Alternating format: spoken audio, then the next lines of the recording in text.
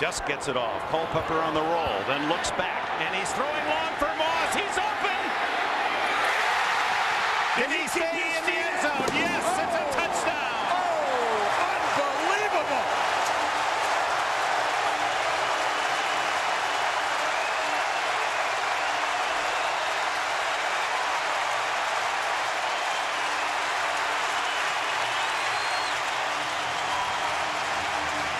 I can't believe my eyes that he was able to keep his feet in bounds.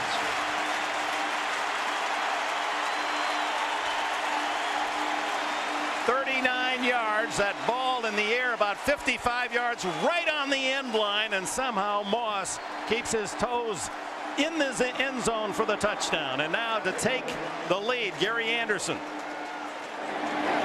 And his 2001st point gives the Vikings the lead with 3 minutes 42 seconds.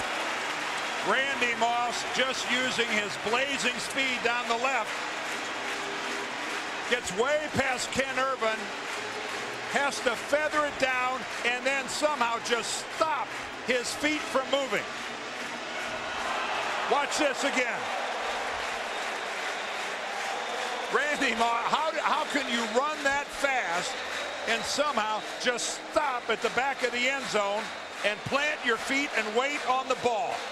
And maintaining the concentration, knowing that the defense is closing in. Oh, What a play.